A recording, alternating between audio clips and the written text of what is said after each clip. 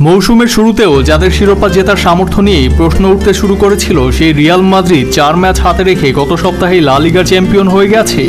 গতকাল রোববার ক্লাবের ট্রেনিং গ্রাউন্ডে লস ব্লাঙ্কোসদের হাতে তুলে দেওয়া হয় লা লিগা শিরোপা। সেই ট্রফি নিয়ে তারা মাদ্রিদের সিটি হলে করল ফটো সেশন এরপর ছাদখোলা বাসে নেচে গিয়ে মাদ্রিদের বিখ্যাত সিবেলেস স্কোয়ারে যান ভিনিসিয়াস বেলিংহামরা। তাদের সঙ্গে ছিলেন রিয়াল প্রেসিডেন্ট ফ্লোরিন্তিনো পেরেস ও শিরোপা জেতানো কোচ কার্লো আনচেলত্তি। মাদ্রিদের রাস্তায় তাদের অপেক্ষায় ছিলেন প্রায় পাঁচ লাখ সমর্থক। রাস্তায় নেমে বাসের ছাদে দাঁড়িয়ে সমর্থকদের শুভেচ্ছা ও অভিনন্দনে জবাব হাত নেড়ে ও উড়ন্ত চুমুতে দেন রিয়ালের খেলোয়াড়রা। Luka Modric Nacho, Toni Kroos ও কারবায়ালরা তুলে ধরেন লিগ শিরোপা।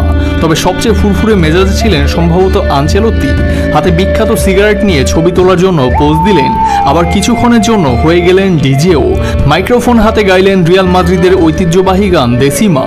ইতালিয়ান কোচ নিজে নাচলেন কামাভিঙ্গার সঙ্গে, পরে নাচালেন দলের বাকিদেরও। রিয়ালের উদযাপনে ছিল চ্যাম্পিয়ন্স লিগের ছোঁয়াও। আগামী এক জুন চ্যাম্পিয়ন্স লিগের ফাইনালে বরুশিয়া ডটমুন্ডের মুখোমুখি হবে রিয়াল। সেই ম্যাচ জিতে আবার মাদ্রিদের রাস্তায় উৎসব করার সুযোগ অপেক্ষা করছে তাদের সামনে। বায়ার্ন মিউনিকের বিপক্ষে সেমিফাইনালে ফিরতি লেগে শেষ মুহূর্তে জোড়া গোল করে চমকে দেয়া হোসেলু ছিলেন উৎসবের মধ্যমণি হয়ে।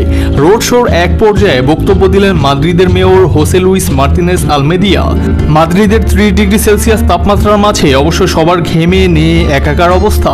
এক পর্যায়ে পেছনে ছত্রিশ লেখা জার্সি খুলে ফেললেন কেউ কেউ, কিন্তু উৎসব থামেনি এক মুহূর্তের জন্য।